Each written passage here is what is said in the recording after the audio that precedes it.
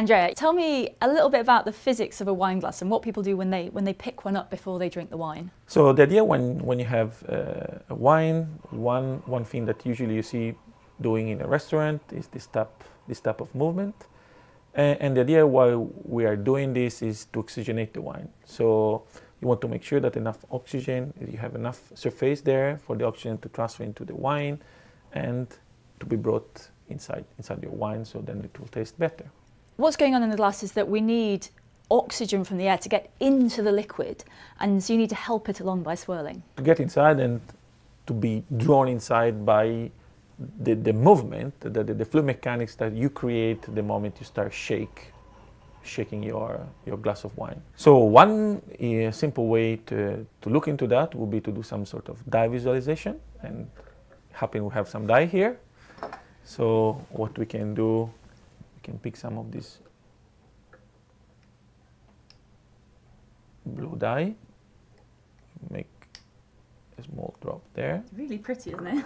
and then we start shaking and the idea is, okay, this is water, it will diffuse very fast, it will mix very fast, but the idea is really to look what does it happen inside and the type of flow structure that we have inside which will determine this, this mixing inside inside inside the glass, yeah, and therefore like your better oxygenation in for your glass of wine. And the dye is it's not just spreading out into the glass, it's it's swirling around. There's a structure as the as the blue dye mixes into the water. Exactly. So what you can think, which we just did in this in this glass of wine, we had two fluids which are miscible, and so one was the blob of blue dye and the other one was the transparent water.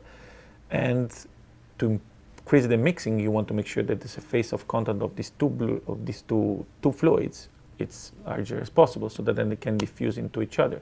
And this is basically what mixing does. Is like you create a stirring action, you create some flow movement inside, so that you start deforming this this blob of dye, and then the moment you deform it, you, you create a striation, and then you increase the surface of contact between the two fluids, and you have diffusion. So that's what's happening inside a wine glass, that, that the swirling is helping you mix these two things together. But the same principle is also used in your research. So tell me about that.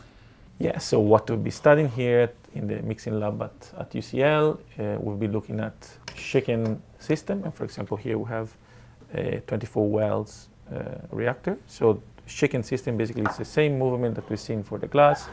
We have this, this type of movement.